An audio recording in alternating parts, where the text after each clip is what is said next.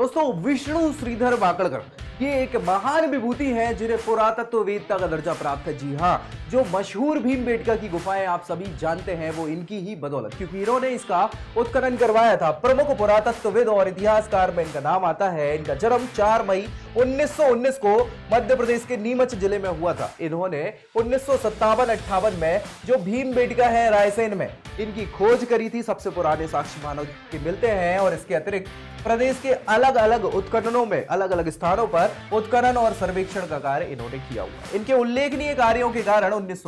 में इन्हें पद्मश्री पुरस्कार से सम्मानित भी किया जा चुका है और ऐसे ही रोचक तथ्यों और जानकारी के लिए बने रही हमारे चैनल पर वीडियो को लाइक शेयर और चैनल को सब्सक्राइब करना बिल्कुल